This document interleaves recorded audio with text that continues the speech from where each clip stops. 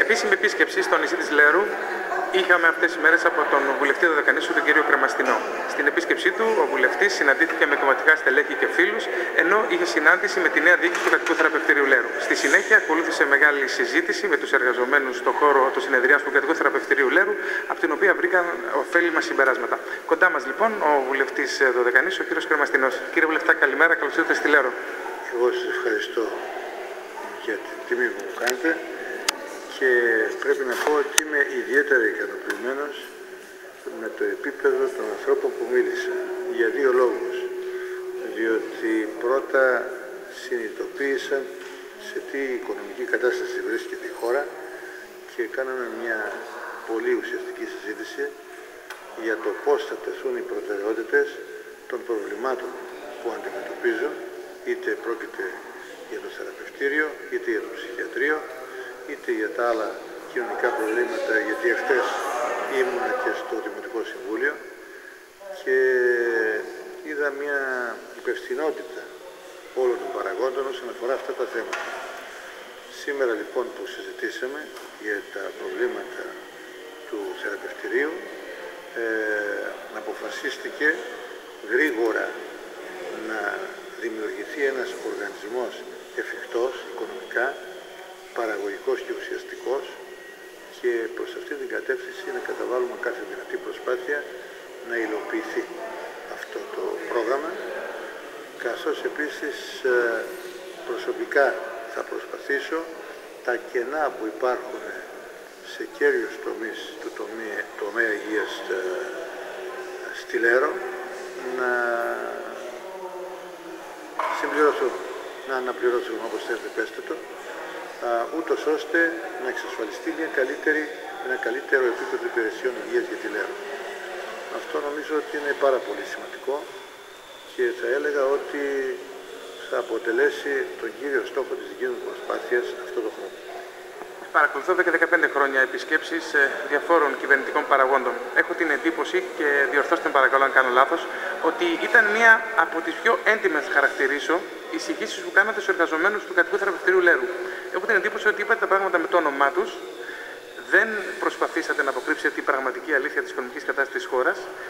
Έχω την εντύπωση ότι προσπαθήσατε να αφυπνίσετε περισσότερο συνειδήσεις, να βάλετε τον πολίτη ενεργό στην εξέλιξη των πραγμάτων του σήμερα, αλλά κυρίως και του αύριο. Ευχαριστώ που μου το λέτε, γιατί αυτός ήταν ο σκοπός της επίσκεψή μου, γιατί το να έρχομαι στη Λέρο και να μιλάω εγώ και να μην βλέπω ανταπόκριση από τον κόσμο, σημαίνει ότι ε, είναι αποτυχημένη η επίσκεψη. Δηλαδή, ο σκοπός δεν είναι να ωρεοποιήσεις την κατάσταση, ο σκοπός είναι να παρουσιάσεις την κατάσταση όπως είναι και να εξασφαλίσεις σε ένα επίπεδο, αν θέλετε, συνεργασίας και εντιμότητας μεταξύ των πολιτών όσον αφορά τις σχέσεις, τις μεταξύ μας σχέσεις. Αυτό με ενδιαφέρει και νομίζω ότι αυτό το βλέπω να καρποφορεί, να επιτυχάνεται την εντύπωση όμως ότι χτυπήσατε το καμπανάκι και σε κυβερνητικό επίπεδο ότι πρέπει να επιταχυνθούν κάποιες αλλαγές που γίνονται, κυρίως στα νησιά μας. Γιατί αυτή είναι η προσωπική μου άποψη. Έχω την εντύπωση ότι ακόμα η κεντρική διοίκηση δεν έχει αντιληφθεί το μέγεθος των προβλημάτων που αντιμετωπίζουν τα νησιά μας, κυρίως στον χώρο της υγείας. Κοιτάξτε, ε, εν μέρει έχετε δίκιο, αλλά εν μέρει. Γιατί αν δεν υπήρχε το πρόβλημα το οικονομικό, το τεράστιο πρόβλημα, βάσει του οποίου οι δανειστές, ας το πούμε έτσι, ελέγχουν και πού πάνε τα λεφτά και εγκρίνουν πού πάνε τα λεφτά, σας έλεγα ότι έχετε απόλυτο δίκιο, αλλά έχετε εν μέρη δίκιο, διότι περνάμε μια πολύ δύσκολη κατάσταση αυτή τη στιγμή. Παρ' όλα αυτά, και ο στόχος ο δικός μου και αν θέλετε και της κυβέρνησης η οποία το έχει αποδεχθεί, είναι τα θέματα της υγείας της περιοχής μας να τα θέσει σε πρώτη προτεραιότητα. Αλλά όταν δεν έχει να δώσει λεφτά για την υγεία, γιατί δεν παράγονται λεφτά στην Ελλάδα όπως ξέρετε. Η Ελλάδα δανείζεται για να επιβιώσει αυτή τη στιγμή. Αντιλαμβάνεστε ότι και ο ρόλος της προτεραιότητας είναι περιορισμένος. Ναι, από τη μία, μου επιτρέψτε, δεν μπορούμε να κόβουμε του συνταξιούχου και το εργαζομένο 200 και 300 ευρώ το μήνα και από την άλλη να το στέλνουμε στην Κάλυμο, στην Κόη, στη Ρόδο να ξοδέψει άλλα 1000 ευρώ για μια απλή, μα πάρα πολύ απλή ε, ιατρική εξέταση θα μπορούσε να έχει κάνει εδώ.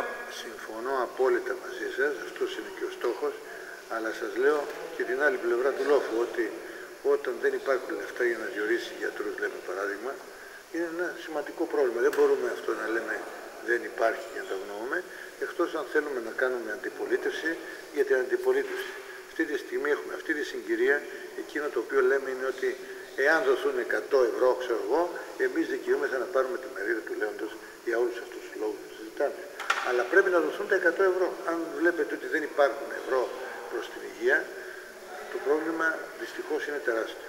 Και το λέω αυτό για να σας δώσω να καταλάβετε ότι το μεγαλύτερο ίσως νοσοκομείο που το λένε ότι είναι καμάρι του ΕΣΥ το Αττικό, λόγω ελλείψεως νοσηλευτικού προσωπικού, τα μισά του χειρουργία είναι κλειστά.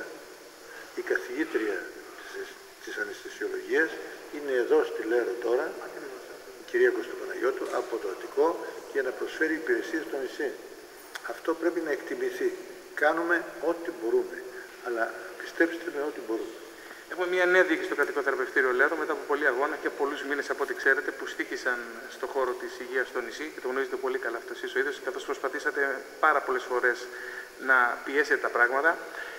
Είναι διαθετημένη η κεντρική διοίκηση του Υπουργείου αλλά και ο βουλευτής, ο καθηγητής, ο κ. Κρεμαστιό, να στηρίξετε αυτή τη νέα διοίκηση ώστε να παράγει άμεσα έργο. Αυτό το ερώτημα είναι αυτονόητο, διότι οπωσδήποτε όλοι έχουμε συμβάλει στη συγκρότηση. Το θέμα είναι εύκολο να λέμε στα λόγια και δύσκολο στην πράξη. Αυτή της διοίκησης είναι από τις καλύτερες διοικήσεις που είχε το θεραπευτήριο και ελπίζω να αποδειχθεί και η καλύτερη μέσα από το έργο που θα παράγει. Έχει όλες τις δυνατότητες να το επιτύχει. Ε, χωρίς σωστή διοίκηση τίποτα δεν γίνεται. Διότι αυτή μεταφέρει τον παλμό των γεγονότων σε εμάς και εμείς κάνουμε αυτό που πρέπει να κάνουμε. Άρα φεύγετε ικανοποιημένος από το νησί μας, από αυτά που ακούσατε, αυτά που είδατε και από αυτά που συζητήσατε. Θα έλεγα ότι με βάση αυτά που πιστεύω είμαι απόλυτα ικανοποιημένος. Να σα ευχαριστήσουμε πολύ και να ευχηθούμε σύντομα να σα έχουμε ξανά κοντά σας, κοντά μας, καθώς ε, κάθε φορά που επισκέπτεστε το νησί είναι και μια είδηση γενικότερη για το νησί. Και να πούμε καλύτερα, καλύτερες ειδήσεις και